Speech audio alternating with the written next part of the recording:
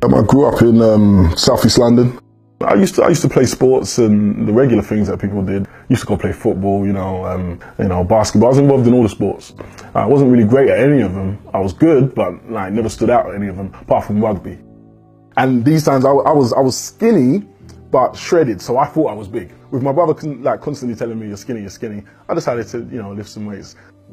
Um, what triggered it for me was going to college, and there was one particular guy, and this guy he basically had a like muscular physique, and I, I remember asking him like, how'd you get like that? And he said, you know, I trained at home. That same day, I went to a local um, department store. I went there and I just got some um, ceramic um, ceramic weights took those weights and that same day I had my first session.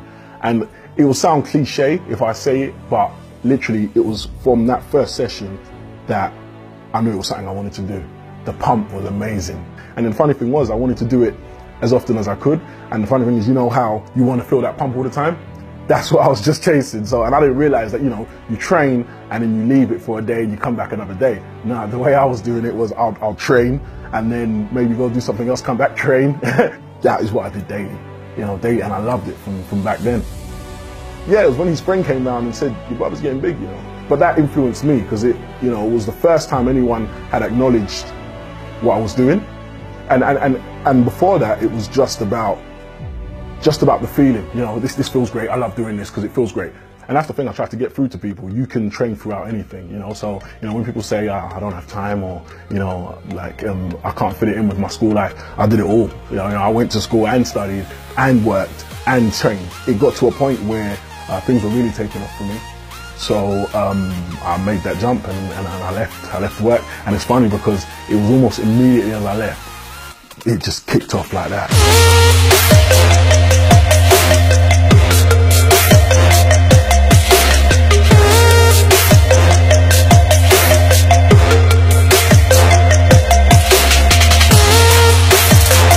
there's this belief that I have that you can you can have anything if you put put the work into it, and it sounds so you know basic, but that that I, I truly believe that. That's what drives me daily because I've got these these goals that I want, and I know I'm going to make them. I, I know I'm going to reach them 100%, and it's just it's just stepping stones, stepping stones. So what motivates me is just that knowledge that you can work at something and make it happen. It's a secret that people don't know. You can do anything you want to. If you want to do something, just, just, just give it everything. Believe in it. That belief isn't just when things are going well. I think it's even most important when things are going, really going bad. You can't forget what you're capable of and what you believe you can achieve.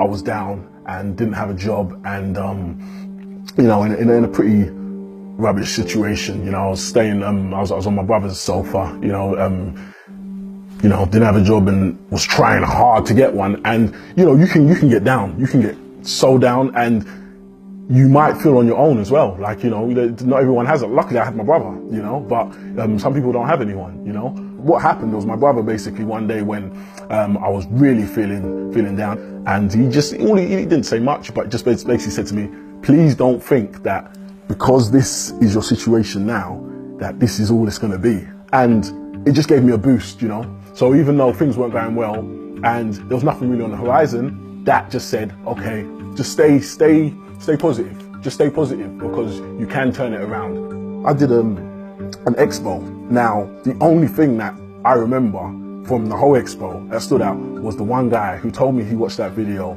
when he was in, I think, a worse situation than I was. And he said that that, that, that helped him. He said, he said he, he just held on to that. He said before that, you know, he, he didn't know what he was going to do, but that just said to him, keep going. And that simple thing of keep going can can do do wonders with people, you know. And then uh, the, coincidentally, I then saw him at another expo, and his story was completely different. You know, he'd he'd he'd he'd um, at the time he didn't have a job. He, he, I think he was, I think he was actually homeless. I think he told me he was homeless.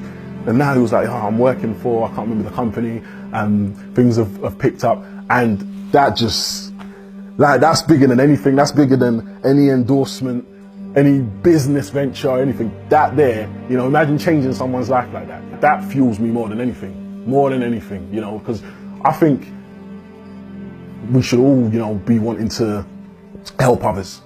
that gives me life, man. That, that, gives that gives me energy. Like just just knowing that, and it definitely fuels me because I know how I feel when I hear that. You know, I, I, I just like I can't even when when I hear things, I can't even like get my words out.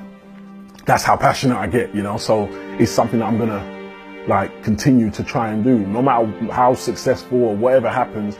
Always try and bring other people up. You know, because I think that's what it's all about. You know.